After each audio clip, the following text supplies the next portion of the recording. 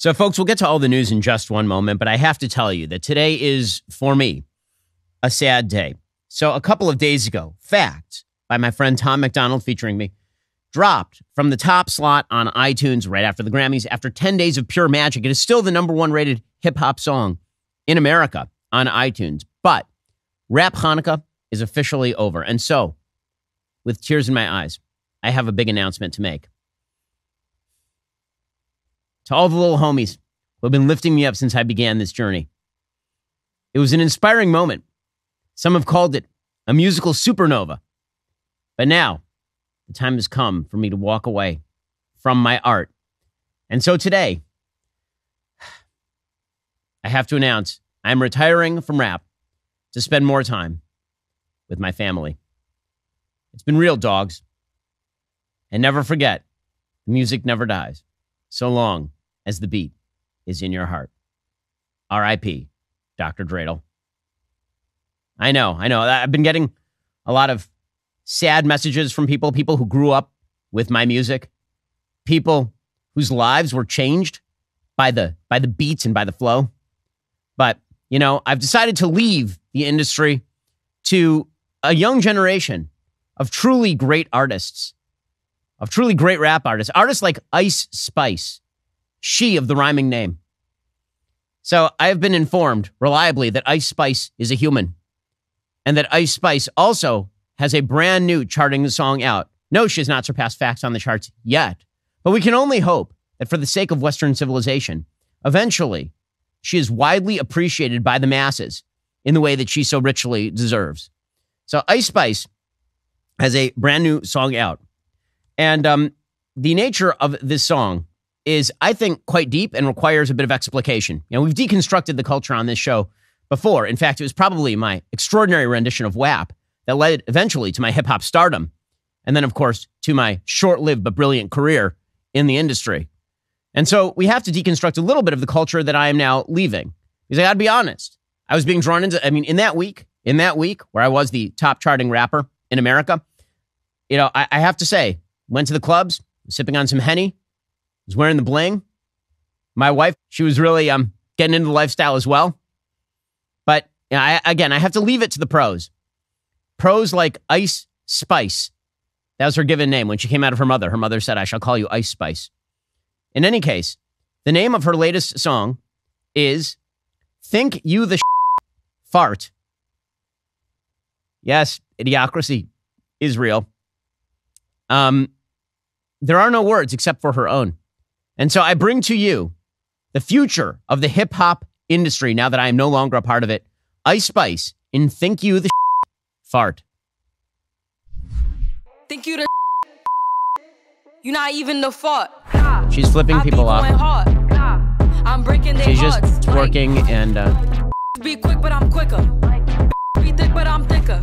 Um, She could be rich, but I'm richer. okay, it's just her twerking the whole video and other women spanking her on the, Taking her on the man. tilts. Taking her man. Don't give a Um, so out in the yams. if you can't understand what And you're, what she's saying, you're not alone. And so I will now do what I am most famous for doing when it comes to rap. I'm going to read you the lyrics in a language we call English. Okay, and uh, here is what she is saying. Think you the shit, you not even the fart, grah. I be going hard, grah. I'm breaking their hearts like be quick, but I'm quicker. Be thick, but I'm thicker. She could be rich, but I'm richer. Ah, the words of a generation. I'm so glad that the industry remains in excellent hands like that of, of Ice Spice. Um, but, you know, the, those words will live on forever. And from now on, if anyone ever, ever gets uppity with you, just tell them that if they think they the they are not. They are indeed the fart.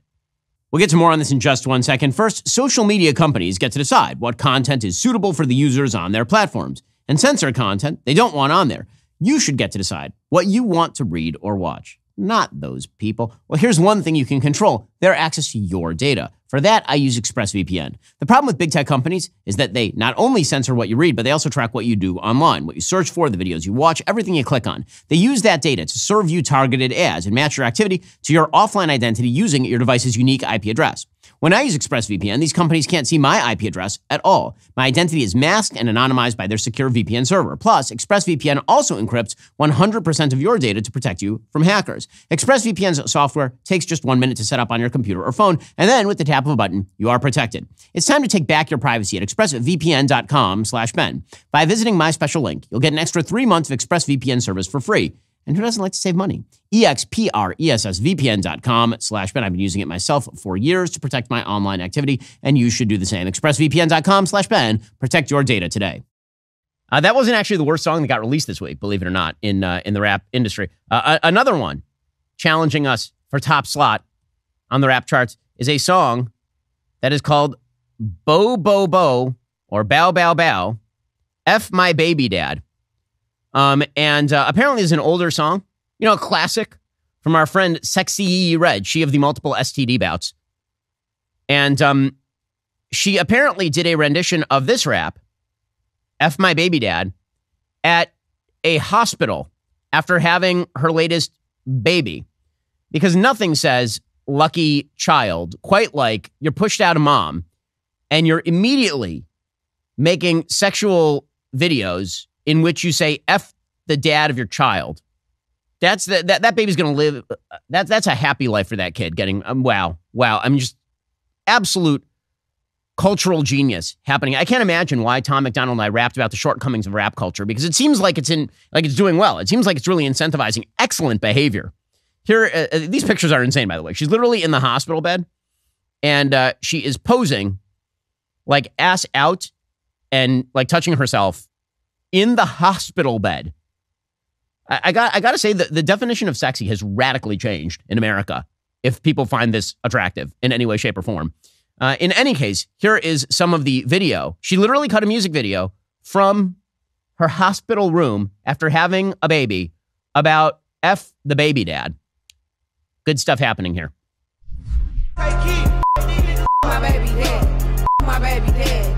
She's in a hospital room and she's flinging around dollars in the hospital room, presumably in, not covered by insurance. Um, she's twerking on her hospital bed after having a baby. Points for durability, I suppose. Um, so there, there's a, there's a lot to say here. One thing I will say is that um, if this lady doesn't get to take a maternity leave, then why does Pete Buttigieg get three months off for a paternity leave? I'm confused about that. I mean, she's back to work within like seconds, and by work I mean W E R K work. So yeah, this is this is solid stuff, guys. I know, I understand that I had a place in the rap culture. I understand that I was an inherently important part of hip hop, but I have to, as I say, I have to leave it to the pros. The reason I spend time on this stuff, by the way, is I think folks need to understand. You know, we talk cover politics a lot on this show.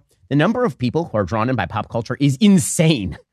Pop cultural engagement in America is at levels not even remotely charted by politics.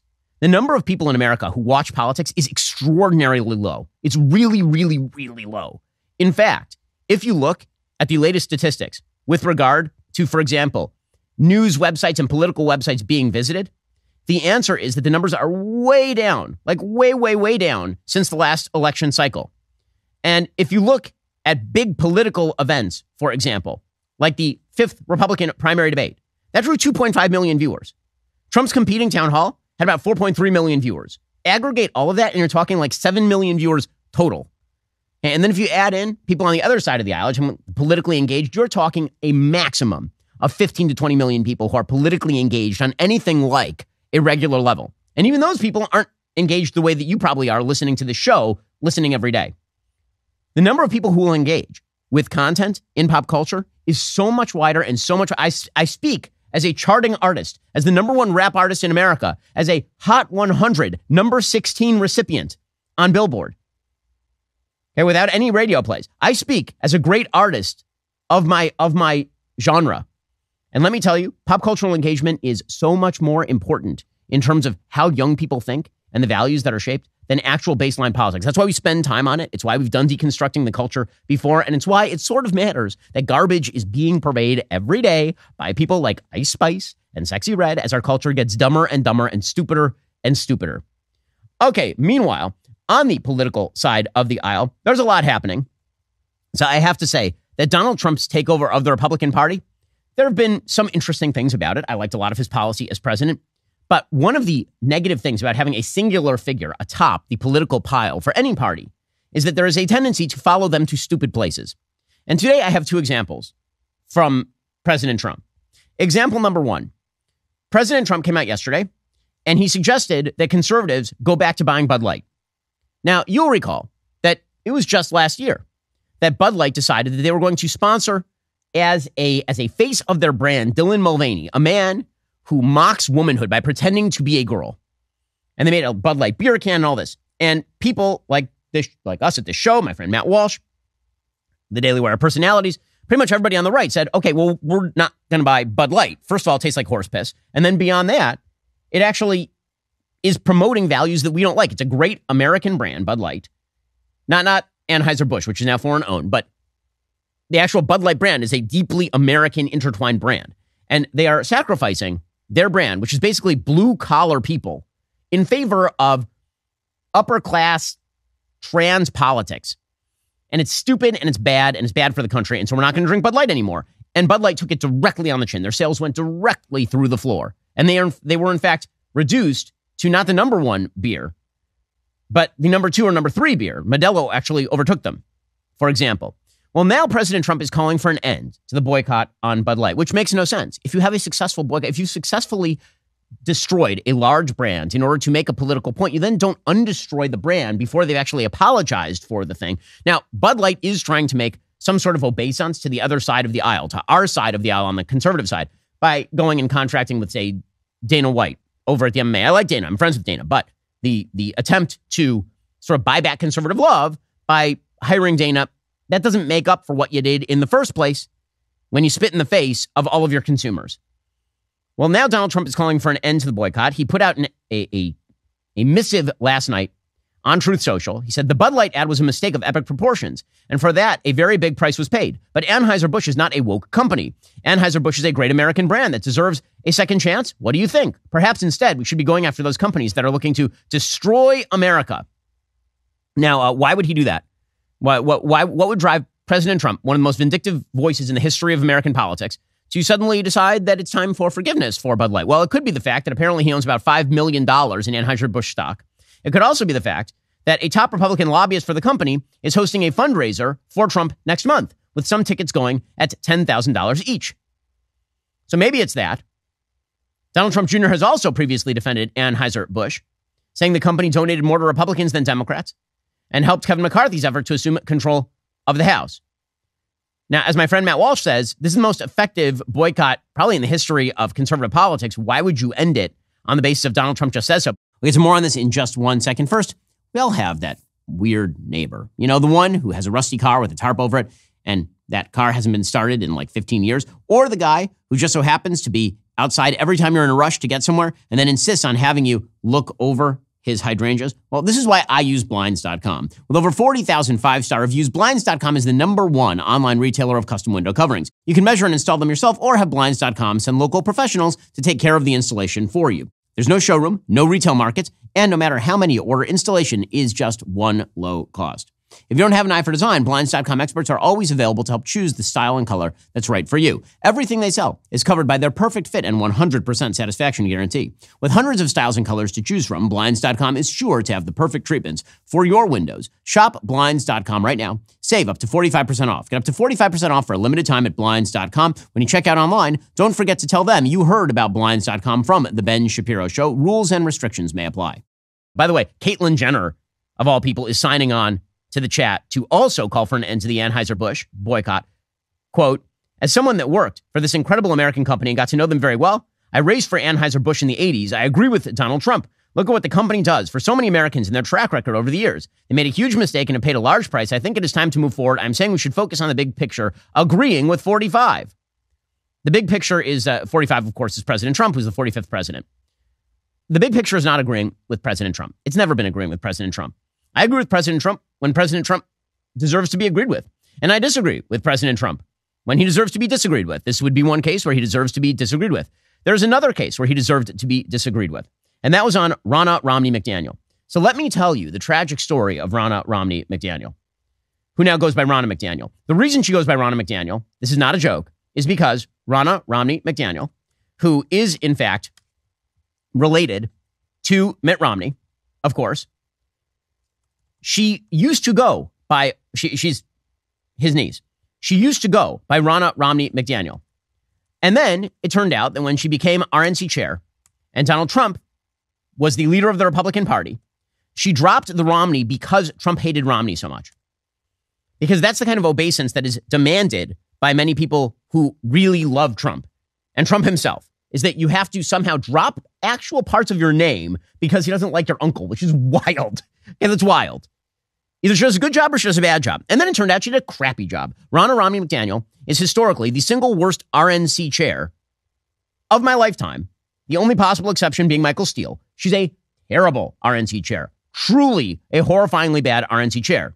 In fact, her tenure as RNC chair, which began January 19th, 2017, she was preceded by Reince Priebus, who ended up going into the administration briefly. When she assumed office in 2017, she assumed office with Donald Trump having a House majority and a Senate majority. That was the state of play when she took office. She then proceeded to lose the House in 2018, and she proceeded to lose the House and the Senate in 2020, 2021.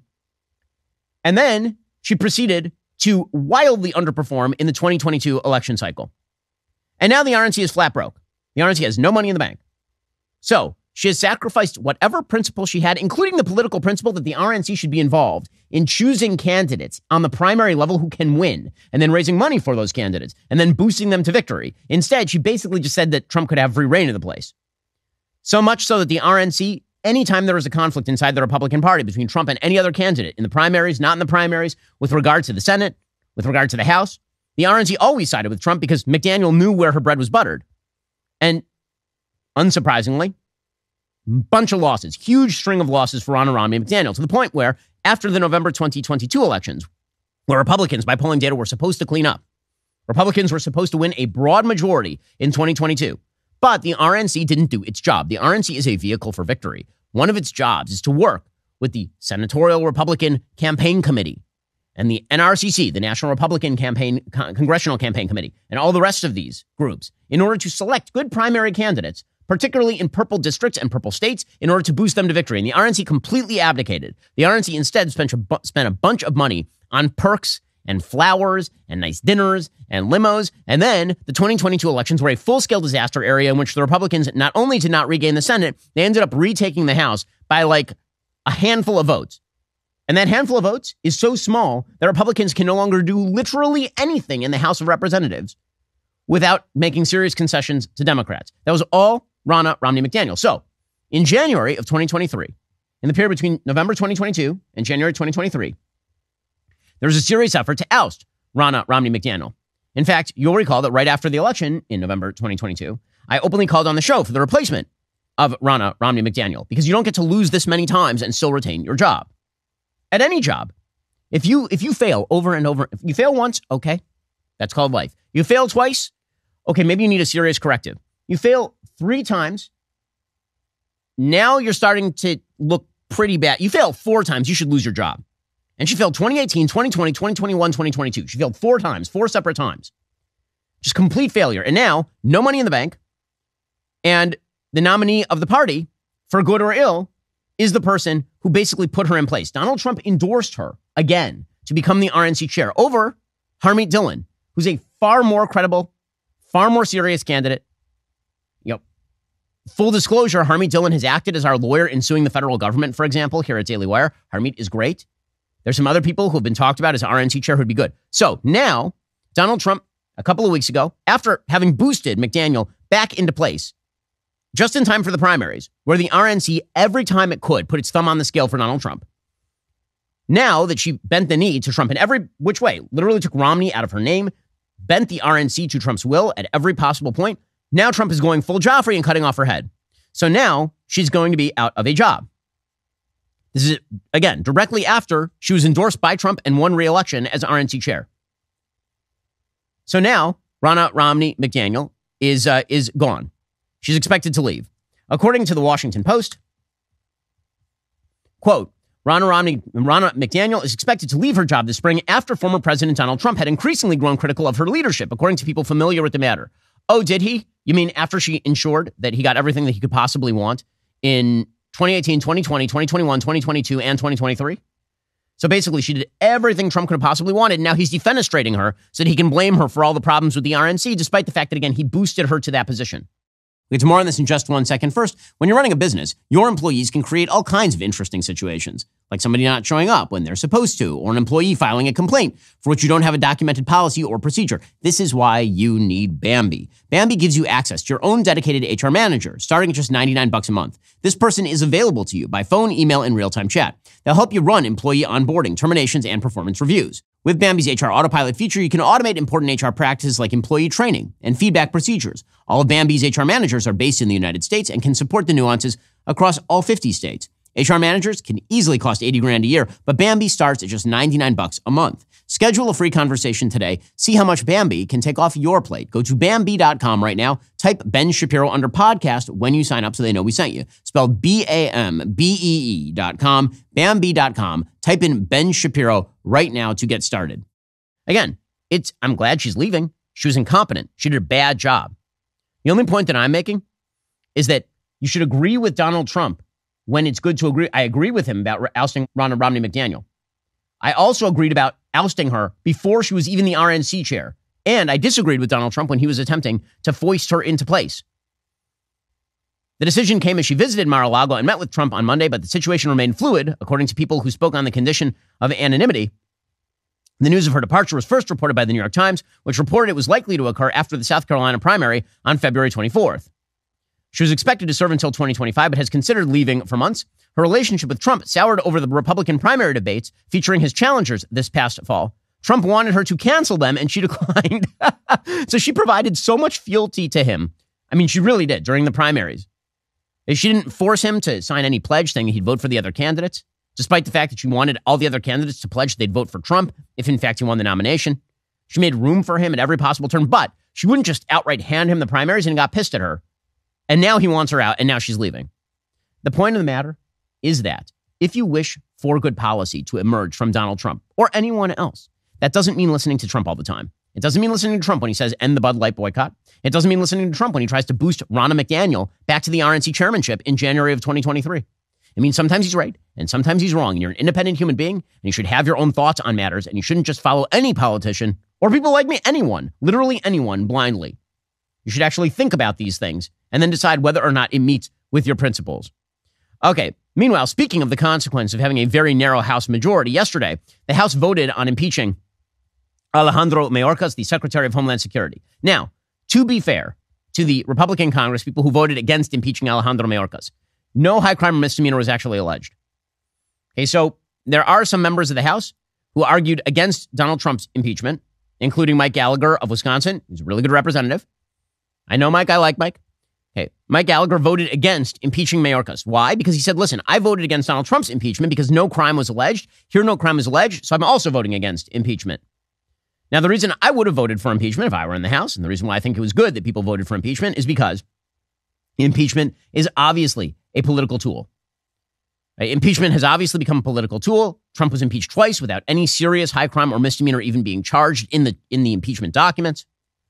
And so now that that's what it is, everybody's fair game.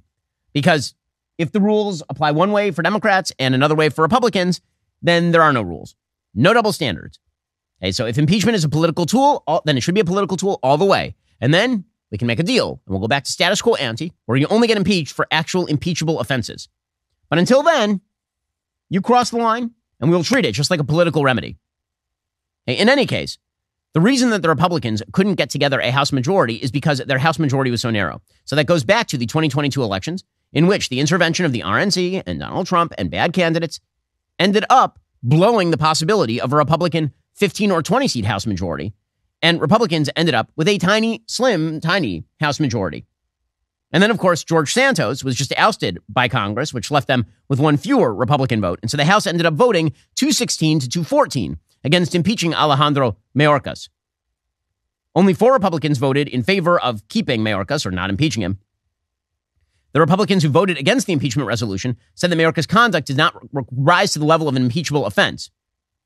This is what Tom McClintock said. So Tom McClintock, by the way, is a is a border hawk. Tom McClintock in California. He is not some sort of of border dove, easy on immigration or anything. He just said the same thing that Gallagher said. He said the impeachment articles failed to identify an impeachable crime that Mayorkas has committed.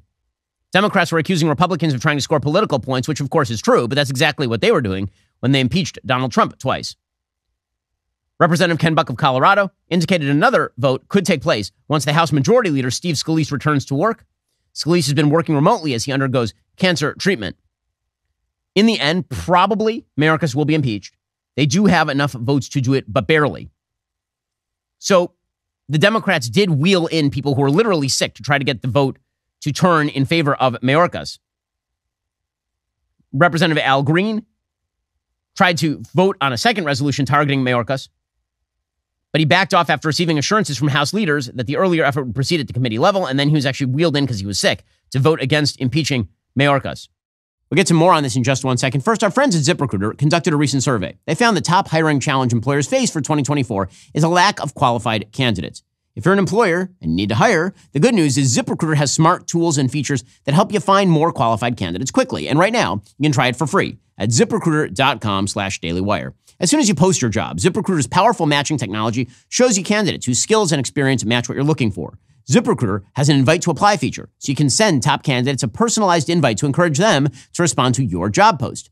When you use ZipRecruiter's rating tool, they'll send you more matches from new profiles that are created on the side. Let ZipRecruiter help you conquer the biggest hiring challenge of finding qualified candidates. See why four out of five employers who post on ZipRecruiter will get a quality candidate within the very first day. Just go to this exclusive web address right now. Try ZipRecruiter for free at ziprecruiter.com slash dailywire. Again, that is ziprecruiter.com slash D-A-I-L-Y-W-I-R-E. ZipRecruiter is indeed the smartest way to hire. Check them out at ziprecruiter.com slash dailywire. So, bottom line is, does this damage Republicans anyway? No, I mean, it just looks again like Republicans can't count votes, but we've known that for quite a while.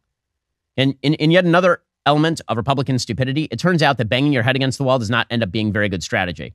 They got rid of Kevin McCarthy, as I said at the time. Like McCarthy or hate McCarthy, McCarthy knew how to count votes. You know what's happening now? Nobody knows how to count votes, and the deals aren't getting any better. So, slow clap for all the people who thought getting rid of Kevin McCarthy was going to fix the problems in Congress.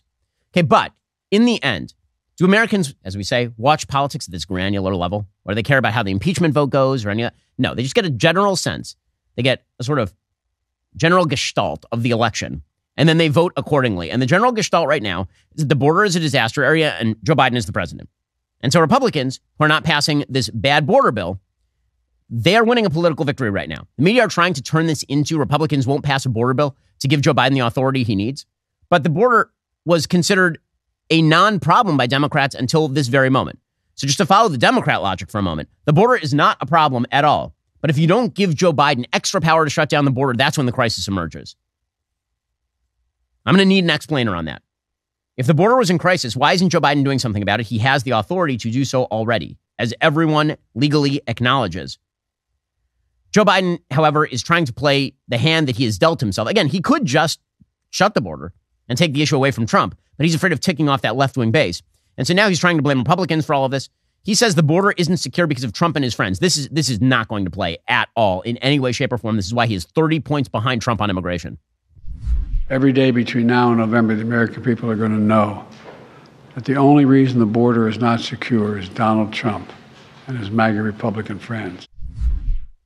Um, so um, no, that is not going to work. If you really think that MAGA is keeping the border open, that's wrong. Joe Biden is the president of the United States. Then Joe Biden was suggesting that Republicans need to show some spine and pass the bill. Um, we all know what's going to happen if that happens. If Republicans pass the bill, the border will remain largely open because Joe Biden will make sure that it remains largely open. And then he will claim that he's been able to create a bipartisan deal to create responsibility at the border. And then he will go to his left and say that he basically put one over on Republicans and whatever are the future border problems will be co owned by the Republicans. That's the politics of this. Why do you think Democrats are so desperate to pass this thing? The reason the Democrats are desperate to pass this thing is because they see it as a political win. Here was Joe Biden trying to force Republicans into voting for it. It's not going to happen. Now, all indications are this bill won't even move forward to the Senate floor. Why? A simple reason Donald Trump. Because Donald Trump thinks it's bad for him politically. Therefore, he doesn't, even though it helps the, the, the country, he's not for it. He'd rather weaponize this issue than actually solve it. So, for the last 24 hours, he's done nothing, I'm told, but reach out to Republicans in the House and the Senate and threaten them and try to intimidate them to vote against this proposal.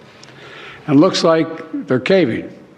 Frankly, they owe it to the American people to show some spine and do what they know to be right. I mean, I, I got to say, there are two problems with this. Number one is the argument, the other is that I swear, Joe Biden at this point, he looks, n- no joke, like Julian Glover as Walter Donovan at the end of Indiana Jones and the Holy Grail. He looks like he drank from, he chose poorly. Literally every video of him is a state of further physical and mental degradation. He is degrading before our eyes. Everyone can see it. It's impossible not to see it. By the way, Joe Biden is admitting, by the way, the bill will actually allow people to enter the country more quickly. Like we all know what the real agenda is here. Here's President Biden admitting this yesterday. This bill would also establish new, efficient, and fair process for the government to consider an asylum claim for those arriving at the border. Today, the process can take five to seven years, as you all know. They show up at the border, get a bracelet, told to come back when called, five to seven years now in country. That's too long and it's not rational.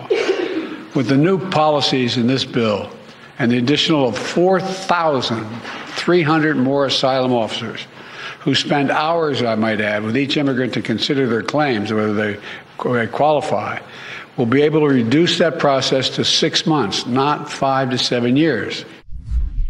Okay, again, he's trying to reduce the time period between when you apply for refugee status and when you are granted refugee status. His goal is to get more people into the country, not fewer people into the country.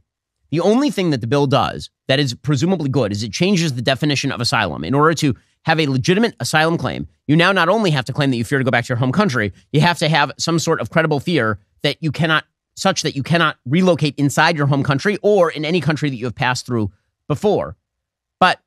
How do you establish that sort of thing? Like, seriously, do you think that Joe Biden and his processing centers, people are going to come and they're just going to say that? They're just going to say, I can't move inside my home, home country because people are pursuing me. How do you confirm that? Then they're going to say, Mexico isn't accepting me in order to live there, and the gangs are following me, and there's no place I can go. And then they just say new magic words. So, listen, I get why Border Patrol agents, some of them, are in support of the bill. They think that it gives them some additional tools if they're allowed to do their job. But I think they're assuming that Joe Biden's going to allow them to do their job. And that is an assumption, as we say in the law, not in evidence. Okay, meanwhile, Joe Biden has tied all of these issues together. He has tied his version of the border bill together with Ukraine aid, together with Israel aid, which is kind of amazing because he doesn't have to do that. It demonstrates his failure of the power of the, of the bully pulpit. If Joe Biden actually had any level of popularity, he could probably force each of these issues through one at a time. Let's say that he wanted Ukraine aid. He could probably force that through. He could make an argument to the American people. He could say, listen, Ukraine is going to be overrun by Russia. If we don't give them the aid, then Vladimir Putin is going to be standing in Kiev by the end of the year. We, they need the aid. Most of the aid is going to go toward paying our military contractors anyway. We need to restock our supplies and all the rest. He could say all that sort of stuff, but he can't because he's really, really unpopular. And so he's trying to lump that together with a significantly more popular proposition, which is aid to Israel. In fact, he came out yesterday and said he would not even sign off on an independent aid to Israel clean bill, which is totally crazy. He says he wants that. He's the one who proposed it. He's saying he wants $14 billion in military aid to Israel and $10 billion for the other side. He wants $10 billion in so called humanitarian aid to Gaza. I say so called because Hamas and terrorists hijack a huge, num- a huge amount of that and then use it for weaponry. That's what he says he wants. So the Republicans are like, okay, fine, we'll give you 14 bill for Israel and no 10 bill for Gaza and no 60 bill for Ukraine. And Biden's like, I'll veto that.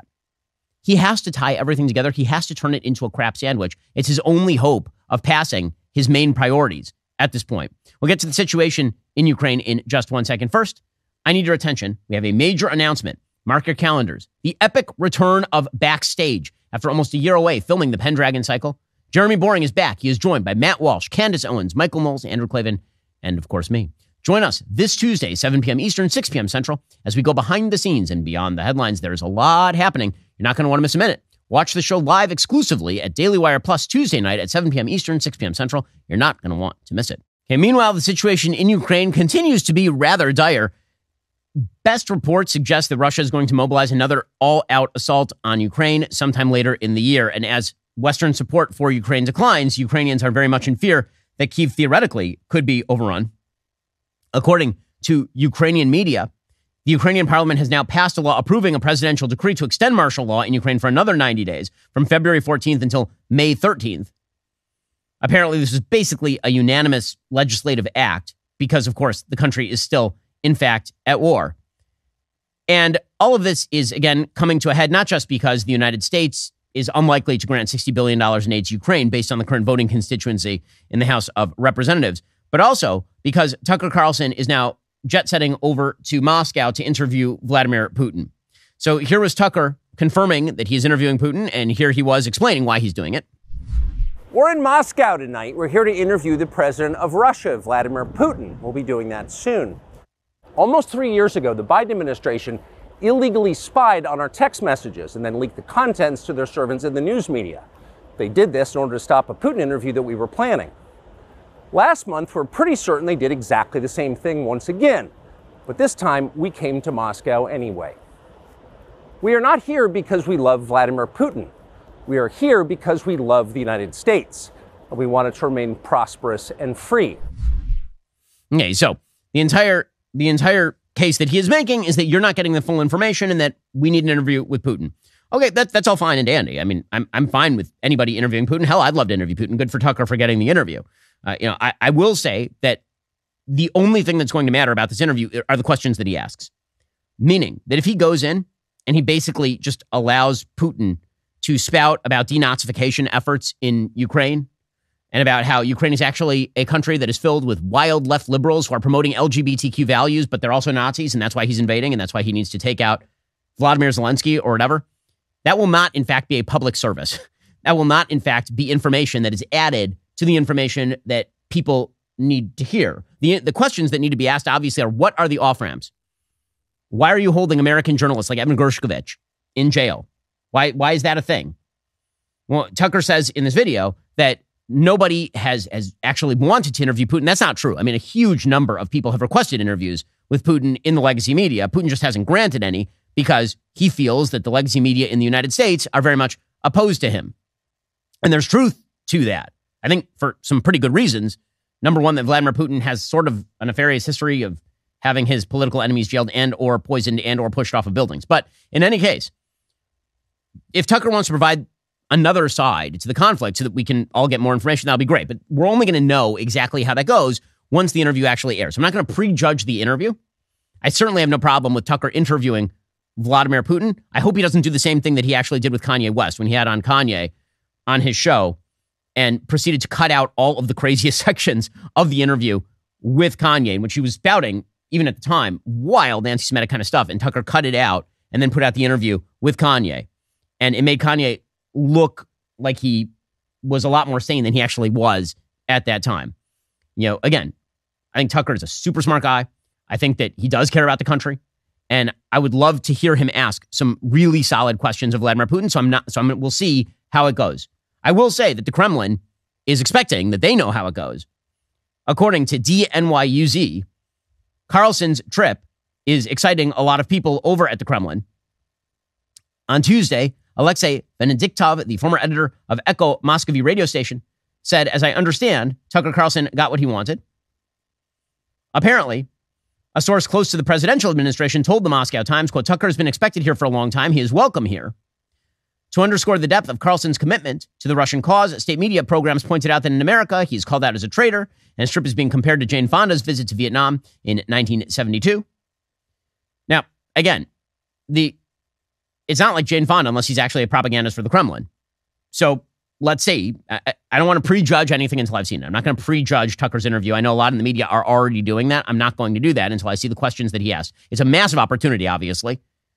Now, could it have an impact in theoretically opening eyes to the possibility of, of, future solutions? Sure. Could it also be a propaganda interview? Good. I mean, presumably that's why Putin is doing it. Apparently, during an interview with the evening with Vladimir Solovyov, political scientist Sergei Mikhayev said, quote, a few words about Tucker, since he's a popular figure. He says if Tucker dares to broadcast this interview in the United States, first and foremost, this will blow up their informational blockade from within. He said that uh, an interview with Putin will have some interesting consequences. Quote, it will blow them up into pieces. This is uh, the United States.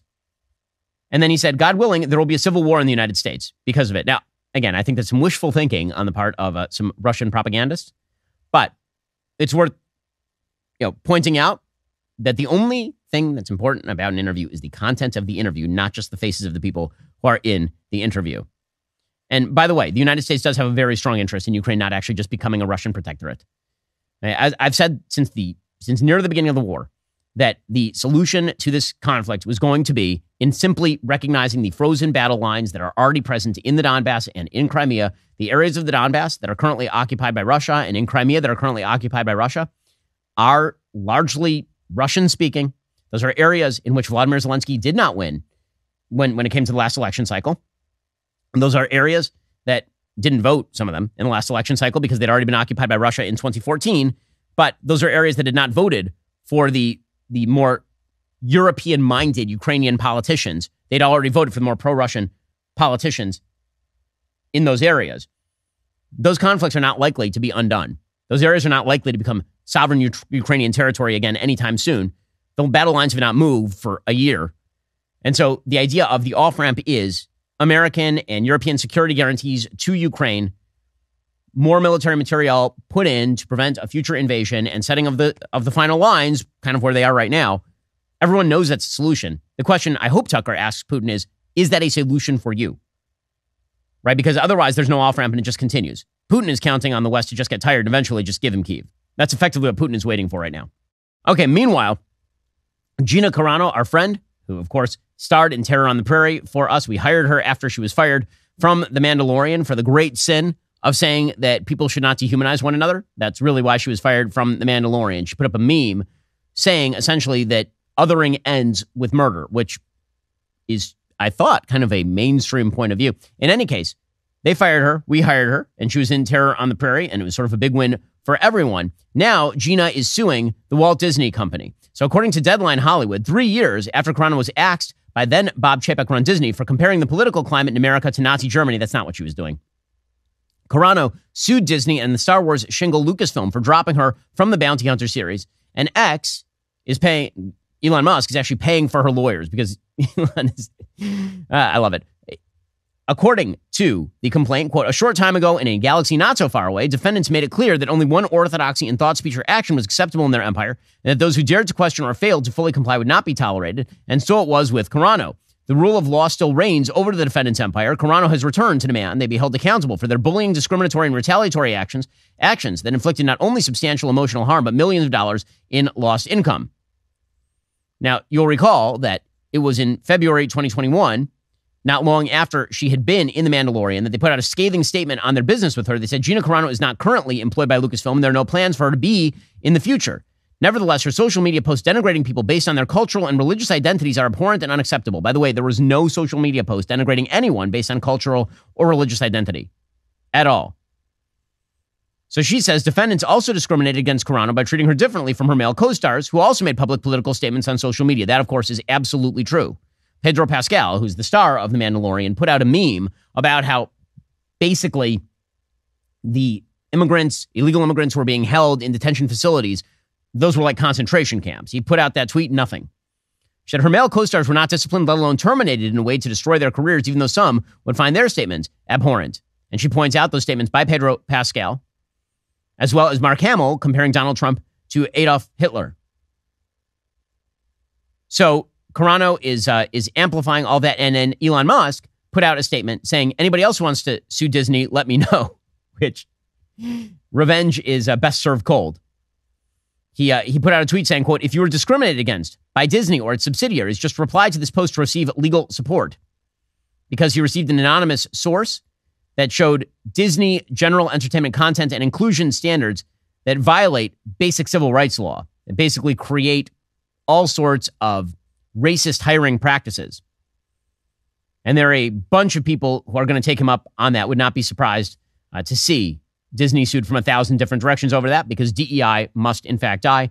And uh, Elon is doing God's work on that one. Alrighty, folks, the rest of the show continues right now. You're not going to want to miss it. We'll be joined on the line by Mark Morgan, the former acting Border Patrol Commissioner. If you're not a member, become a member. Use code Shapiro. Check out for two months free on all annual plans. Click that link in the description and join us.